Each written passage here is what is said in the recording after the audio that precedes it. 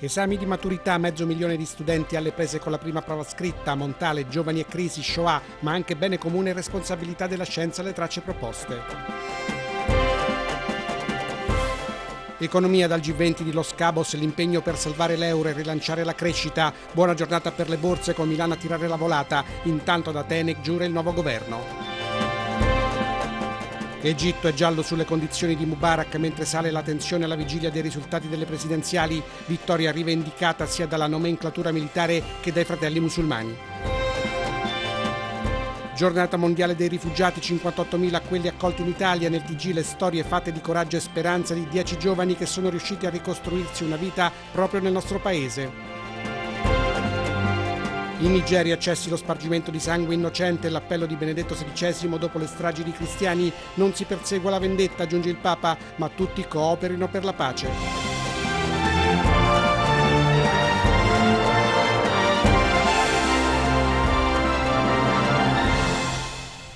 Le 19.41, buonasera e benvenuti al TG2000. Buonasera a tutti voi.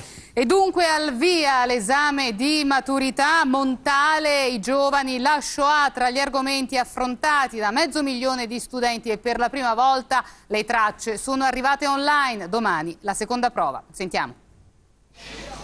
Il fatidico momento per circa mezzo milione di studenti è arrivato, l'esame di maturità. Oggi prima prova, quella di italiano, diverse le tracce proposte e per gli studenti che escono la domanda è immancabile. Tu cosa hai scelto? Eh, io ho scelto il saggio breve di ambito tecnico-scientifico, che parlava praticamente della responsabilità della scienza e della tecnologia. Ho scelto mh, la, mh, la, traccia sulla crisi e i giovani e il confronto con i giovani. Quella della crisi era una traccia che comunque ci aspettavamo e Montale per esempio non ce l'aspettavamo e non l'avevamo nemmeno fatto come mm, durante il programma italiano. In molti saranno stati sorpresi dalla proposta di un montale saggista per la tipologia dell'analisi del testo e che quindi probabilmente avrà tirato pochi esaminandi, al contrario di quella attesissima su giovani e crisi nell'ambito socio-economico del saggio breve o articolo di giornale quello che salta agli occhi è la scelta di documenti tutto sommato piuttosto molto drammatici, piuttosto problematici e anche bizzarro che eh, il il documento Istat e quello che riporta la, un po' la storia di Steve Jobs eh, in qualche modo mettano in dubbio, mettano alla fine di un corso di studi impegnativo come la, la scuola superiore, metta in dubbio l'utilità di studiare. Altre categorie riguardavano il concetto del labirinto nell'ambito storico-letterario o quello del rapporto tra bene individuale e bene comune, ambito storico-politico, mentre per l'ambito scientifico-tecnologico si è tornati a parlare di responsabilità della scienza. Il tema di ordine generale, invitando a riflettere sulle sfide e sogni della giovinezza, si profila come una scelta rischiosa per il pericolo di infilare una serie di banalità, mentre la traccia del tema storico sulla Shoah, a partire da una citazione di Hannah Arendt, offriva stimoli nuovi rispetto al passato. Andata in archivio la prova scritta in italiano, arrivata per la prima volta dal Ministero per via telematica, con solo qualche piccolo intoppo, quale impressione generale emerge dalle tracce fornite? Riflettendo sull'area semantica delle parole utilizzate, moltissime sono parole legate alla crisi, all'impossibilità, eh, al vuoto, al, pass- al, passare di tempo, alla, a una diciamo, negatività che un po' ci pervade e che eh, i ragazzi sicuramente sentono intorno. Effetto G20, giornata positiva per le borse con Milano capofila. Buone notizie anche sul fronte dello spread. Ad Atene intanto giura il nuovo governo, mentre in Europa si discute la proposta di Monti di utilizzare il fondo salva stati per frenare la speculazione sui titoli di Stato. La giornata economica nel servizio di Giorgio Schiavoni. I paesi G20 dell'Eurozona adotteranno tutte le misure necessarie per salvaguardare l'integrità e la stabilità dell'area. È la dichiarazione finale del vertice messicano di Los Cabos che ha visto i leader delle 20 maggiori economie riconoscere il valore del progetto e della valuta europea, accogliendo con favore le misure adottate nel vecchio continente per stabilizzare l'economia e il sistema finanziario. A Los Cabos sono stati piantati i semi di una ripresa della zona euro, secondo la direttrice del Fondo Monetario Internazionale Christine Lagarde, mentre il presidente presidente americano Obama dice che l'Europa è pronta a prendere azioni coraggiose e decisive per risolvere la crisi. E a dare nuovo slancio ai 17 della moneta unica ci sono anche gli ultimi sviluppi politici ad Atene dove nel pomeriggio ha prestato giuramento il nuovo governo di Samaras, un passo avanti importante che fa ben sperare per un periodo di stabilità e governabilità in Grecia. L'ultima proposta sul piatto per uscire dalla crisi è del nostro Premier Mario Monti, che vorrebbe utilizzare i soldi del Fondo Salva Stati per acquistare i titoli di Stato di quei paesi che, pur rispettando gli impegni di bilancio concordati a livello europeo, vengono penalizzati da spread elevati. L'idea sembra piacere ai mercati finanziari che fanno calare lo spread dei titoli di Stato italiani e spagnoli e premiano in particolare le borse di Milano e Madrid. Calo in aprile per fatturato e ordini dell'industria, il primo scende dello 0,5% rispetto a marzo, trascinato in basso dall'estero e del 4,1% su base annua. Gli ordinativi scendono dell'1,9% su marzo, risentendo dell'andamento sull'estero e calano del 12,3% su base annua, con una diminuzione più eh, pronunciata per il mercato interno. La riforma del lavoro deve essere approvata in fretta, ma il governo è pronto a correggerla. Il ministro Fornero stamattina alla Camera ribadisce la sua posizione e sugli esodati dice è possibile una tutela per chi ha più di 62 anni. Intanto a Milano, Roma e Bari scendono in piazza i pensionati di CGL Cisle. Sentiamo Luigi Ferraiuolo. PD e PDL chiedono al governo una risposta immediata e solenne, al massimo entro stasera, o l'intesa di massima raggiunta ieri con il ministro del lavoro Elsa Fornero potrebbe saltare, facendo fallire il via libera al disegno di legge sul lavoro prima del Consiglio dell'Unione Europea del 28 giugno. I due partiti di maggioranza chiedono impegni solenni sulla tutela degli esodati e sulla flessibilità in entrata dei lavoratori, già contestata da Confindustria. Intanto, in una relazione pressoché identica a quella letta lunedì in Senato, questa mattina il ministro del lavoro è tornato sulle cifre della discordia, circa 120.000 persone da tutelare complessivamente. Il linguaggio giornalistico ha usato indifferentemente i termini salvaguardati, esodati ed esodandi, collocati e collocandi in mobilità e così via.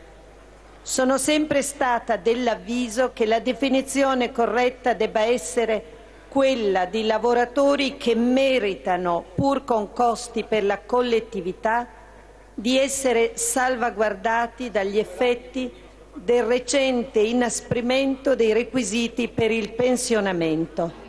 Intanto questa mattina proteste in piazza dei pensionati di CGL, Cisle e Will a Roma, Milano e Bari. I sindacati tornano a chiedere al governo interventi a sostegno dei redditi da pensione a partire dalla riduzione del carico fiscale. Non è più possibile tollerare, ha affermato il numero uno della FNP CISL, Gigi Bonfanti, il continuo sperpero di soldi pubblici che viene puntualmente colmato da tasse che colpiscono anziani e lavoratori.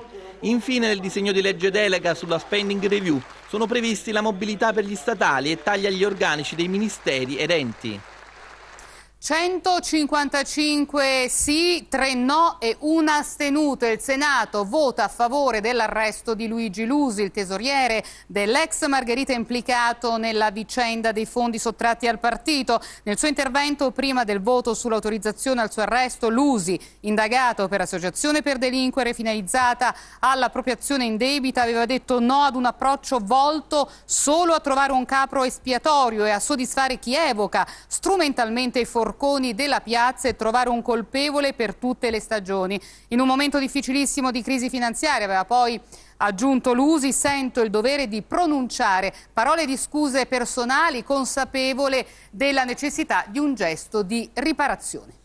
Lotta, lotta tra la vita e la morte, l'ex presidente egiziano Hosni Mubarak, tutto questo alla vigilia della diffusione dei risultati elettorali con i militari e i fratelli musulmani che rivendicano la vittoria delle presidenziali. È naturale che la tensione salga alle stelle, come ci spiega Augusto Cantelmi. Un passato che non muore, un futuro che non nasce, sospeso in una sorta di limbo. L'Egitto vive momenti cruciali della sua millenaria storia. La notizia della morte, poi smentita di Mubarak, si intreccia con l'attesa del risultato del ballottaggio. Domani si conoscerà il nome del nuovo presidente, il successore di fatto dell'ultimo faraone, sospeso tra la vita e la morte in un ospedale militare. L'annuncio del decesso del Rais da parte dell'agenzia di Stato attentato viene subito confutata dai militari. Il giallo resta, la confusione aumenta tra la gente che torna a riempire piazza Tahrir, ma aumenta anche il nervosismo per quello che potrebbe accadere tra poche ore quando si conoscerà il nome del nuovo presidente Mohamed Mursi, candidato dei fratelli musulmani, oppure Ahmed Shafiq, uomo di apparato vicino ai militari, nonché ultimo premier di Mubarak. Entrambi hanno già annunciato la loro vittoria, entrambi con percentuali intorno al 52%. Difficile credere che lo sconfitto accetterà di buon grado la decisione delle urne. La fratellanza musulmana si muove anche preventivamente. Se vince Shafiq, minaccia, sarà guerra tra popolo e militari. Intanto tra le strade del Cairo tornano i carri armati come ai tempi della cacciata del Rais. Il sequestratore catturato vivo, anche se ferito, e i quattro ostaggi liberi è finito dopo ore di paura ed ansia l'incubo in cui questa mattina è ripiombata Tolosa, a pochi mesi dalla strage alla scuola ebraica compiuta dal gidaista franco-algerino Mohamed Merah. Le squadre speciali venute dalle città vicine di Marsiglia e Bordeaux sono entrate in azione nel pomeriggio. Si sono udite tre esplosioni, probabilmente colpi di arma da fuoco e l'operazione si è conclusa nel giro di una decina di minuti. La città è rimasta con il fiato sospeso per tutto il giorno nel ricordo ancora vivo della follia omicida che a marzo ha lasciato l'intera Francia sgomenta. Tutto è iniziato intorno alle 11 quando un uomo che ha detto di essere membro di Al-Qaeda è entrato nella filiale della banca CIC nel centro cittadino ed ha chiesto la consegna di una somma di denaro. Al rifiuto del cassiere ha estratto una pistola facendo fuoco in aria. Il sequestratore ha poi chiesto di parlare con un negoziatore della polizia mentre eh, tratteneva il direttore della filiale assieme ad altri tre impiegati. E Monica, alle 19.52 quasi, è arrivato il momento di girare il mondo per vedere cos'altro è accaduto.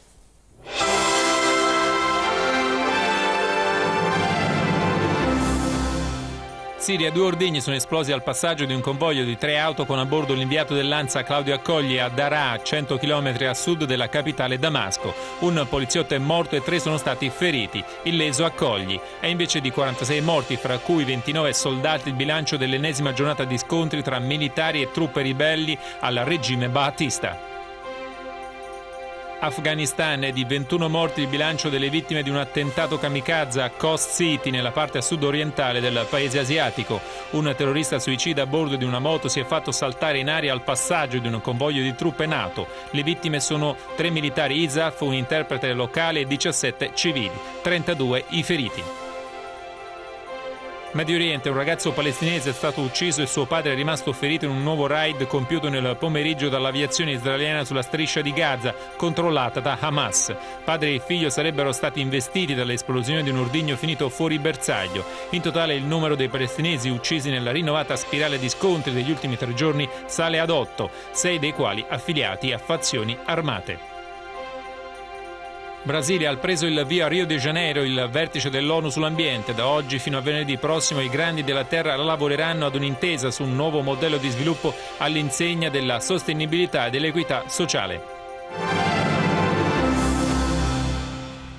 E proseguono le ricerche dei sette migranti che da ieri risultano dispersi nel canale di Otranto. È successo verso le 6.40 quando una piccola imbarcazione in vetroresina a motore con a bordo 11 migranti salpata dalla Grecia si è inabissata a circa 6 miglia a nord-ovest tra Leuca e Torrevado. Due libici, un tunisino ed un afgano sono stati tratti in salvo e sbarcati a Leuca per poi venire trasferiti nell'ospedale di Tricase in provincia di Lecce. Queste, queste, invece sono storie con il segno positivo, sono le storie di 10 rifugiati che a Roma hanno eh, prodotto arte riciclando la plastica, un'esperienza da raccontare nella giornata mondiale dei rifugiati, 58.000 solo in Italia. Sentiamo Maurizio Dischino. Sicu, che cosa stai facendo adesso? Eh, adesso faccio la colano con eh, la bottiglia d'acqua. Il progetto si chiama Refugiscart, una geniale architettura di parole per un'idea dalla semplicità disarmante e virtuosa. Con la plastica riciclata si realizzano prodotti artistici da vendere, si produce un reddito per i rifugiati che ci lavorano e si aiuta a tenere pulita la città di Roma.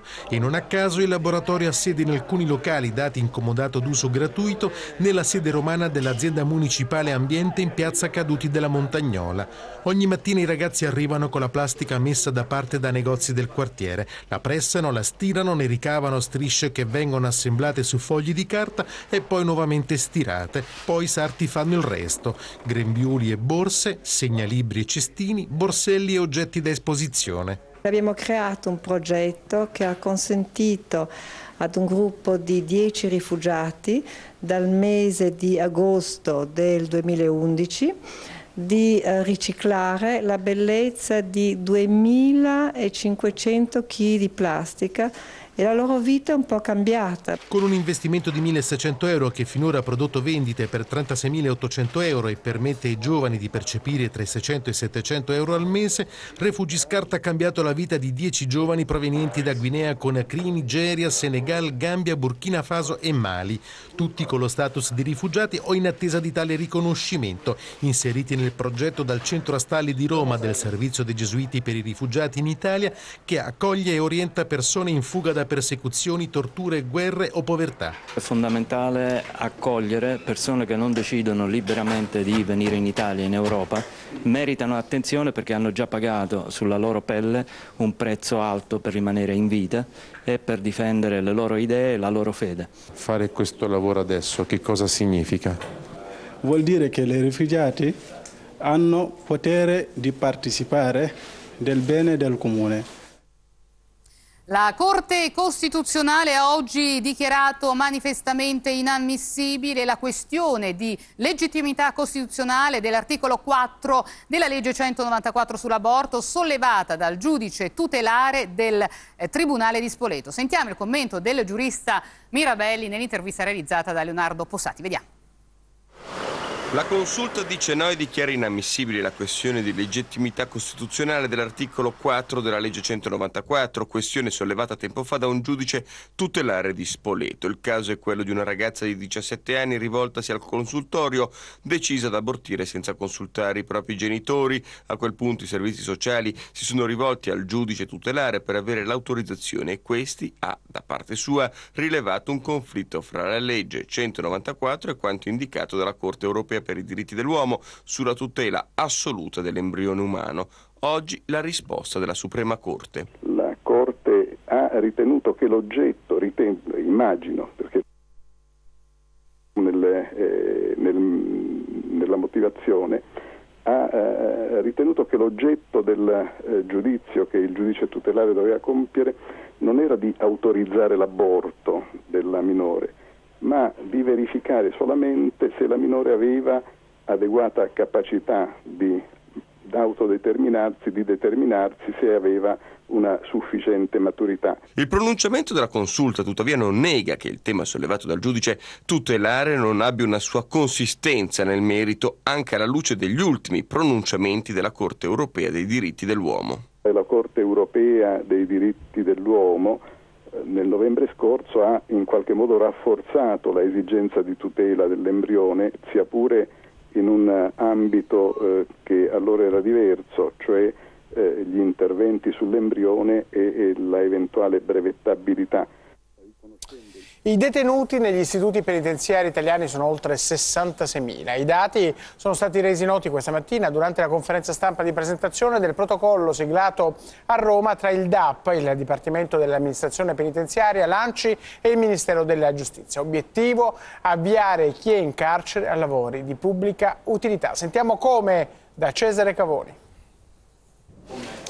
I comuni daranno lavoro ai detenuti favorendone così il cammino di reintegrazione all'interno della società e questo è il senso del protocollo d'intesa sottoscritto dal Ministero della Giustizia e dall'Anci per coinvolgere chi è in carcere in lavori da espletare nelle comunità locali, le quali potranno da subito mettere in cantiere proposte, comprese attività inerenti alla ricostruzione dei territori delle aree colpite recentemente dal terremoto. Soprattutto eh, cercare di eh, sfondare il muro del pregiudizio, eh, portare il detenuto verso la rieducazione dimostrando che un detenuto che lavora non sottrae lavoro agli altri perché fa spesso dei lavori che altri si rifiutano di fare e per i quali comunque rimane lo spazio per tutti e che non è un pericolo ambulante perché naturalmente viene preselezionato eh, perché possa svolgere questo compito in maniera da rasserenare tutta la comunità. L'intesa vuole essere un'iniziativa istituzionale concreta e organica che faccia ordine nei tanti progetti sparsi nel nostro paese. In particolare l'accordo firmato oggi mira anche a migliorare in generale il livello e il numero di detenuti al lavoro, visto che infatti al 31 dicembre 2011 la quota degli occupati era di poco superiore al 10% contro una media del 40% relativo al 1991. Per i reclusi non è prevista remunerazione mentre il progetto sarà finanziato dal Dipartimento di Amministrazione Penitenziaria e dai comuni. I comuni sono tutti alle prese per esempio con la diminuzione delle manutenzioni, no? o con la pulizia del, dei letti, dei fiumi, cioè per dire il dissesto idrogeologico, quindi tantissimi lavori possono essere fatti di piccola manutenzione. Da me l'accordo che ho fatto io col mio comune e col carcere mio è stato che loro seguono diciamo, manutenzione delle piste ciclabili, danno l'impregnante al legno delle, delle staccionate delle piste ciclabili e così via. Una vettura elettrica è stata donata oggi dal Papa alla sala stampa della Santa Sede. All'udienza generale, poco prima della consegna della City Car, Benedetto XVI ha anche rinnovato il suo appello alla salvaguardia dell'ambiente. Proprio adesso, nel periodo delle vacanze, possiamo maggiormente essere attenti, ha detto il Pontefice agli 8.000 fedeli presenti nell'Aula Nervi, alla bellezza della creazione e vedere trasparire nella natura la bellezza di Dio. Che cosa può fare la bellezza di Dio? E nell'udienza generale, Monica, il Papa ha poi lanciato un appello contro le violenze interreligiose divampate di nuovo in Nigeria. Allora sentiamo insieme il servizio di Paolo Fucili. È normale, pregando, chiedere a Dio qualcosa. Anche il Padre nostro che ci è stato insegnato da Gesù è una preghiera di richiesta. Ma se preghiamo davvero con il cuore aperto... C'è anche motivo di ringraziamento. Se siamo un po' attenti vediamo che da Dio riceviamo tante cose buone. Udienza generale di Benedetto XVI stamane in Aula Nervi, al riparo dall'AFA di Piazza San Pietro. Josef Ratzinger traccia un nuovo capitolo di quella specie di manuale della preghiera che le sue catechesi van componendo da qualche mercoledì. Riflessioni ispirate oggi al celebre inno di benedizione della lettera di Paolo agli Efesini, col pensiero rivolto anche alla stagione di vacanze e viaggi ormai prossima. Siate attenti, esorta il Papa, a scorgere la bellezza della creazione in cui traspare il volto di Dio, ma per questo ci vuole una preghiera costante, l'abitudine allo stare con Dio che genera uomini e donne animati dal desiderio non più di possesso e potere, ma di amare e di servire. Ultime parole indirizzate alla Nigeria, teatro di nuovi atti di terrorismo contro i cristiani e scontri interreligiosi. Faccio appello ai responsabili delle violenze affinché cessi immediatamente lo spargimento di sangue di tanti innocenti. Basta con le vendette, chiede il Papa, e piena tutela del diritto di professare liberamente la propria fede. E anche per questa sera, Monica, abbiamo terminato, ma i nostri telespettatori non ci devono lasciare perché alle 20.30, subito dopo il Rosario, torneremo nel cuore dei giorni. Questa sera eh, con Giuseppe Caporaso prima e Giampiero Spirito dopo parleremo di caldo, ma anche di sport, ovviamente, degli europei. Io vi ricordo invece alle 20.55 il consueto appuntamento con TG, TG Telegiornali a confronto. Allora grazie davvero per essere stati con noi, ci vediamo domani. Arrivederci.